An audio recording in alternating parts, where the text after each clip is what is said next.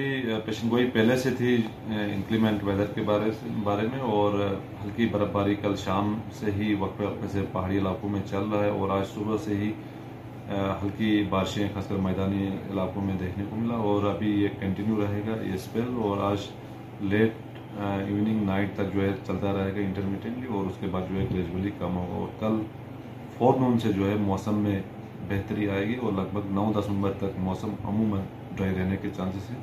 Occasionally cloudy हो सकता है लेकिन कोई सिग्निफिकेंट वेदर एक्टिविटी नहीं है दिसंबर के शुरू के नौ दस दिन तक। तो पिछले दिनों में जो फॉगी वेदर था अब वो उसमें थोड़ी कमी नज़र आएगी? जी बिल्कुल। अब कल से ही जो है थोड़ा सा बेहतरी आएगी खासकर विजिबिलिटी और जो पोल्यूशन लोड था काफ़ी कम होने के चांसेस हैं। और शुरू के पाँच छः दिन जो है बिल्कुल क्लियर वेदर देखने को मिलेगा दिन में भी।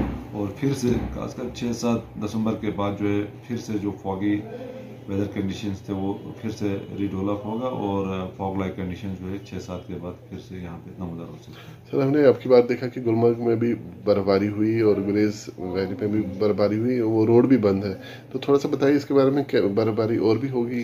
जी आज इंटरमीडियटली खासकर हायर ईस्ट में हल्की बर्फबारी चलता रहेगा और जिसके कारण जो है कुछ एक शहरों पे जो ट्रैफ़िक है वो मुतासर हो सकता है। लोगों को खासकर जो ट्रैवल करते हैं इन रोड्स पे, थोड़ा सा एहतियात बरते हैं कल फोर नून तक और जिसको जिनको भी ट्रैवल करना हो, वो कंसर्न ट्रैफ़िक डिपार्टमेंट या एडमिनिस्ट्रेशन से हाईवे का स्टेटस जाने और अकॉर्डिंगली अपना जर्नी वगैरह प्लान करें।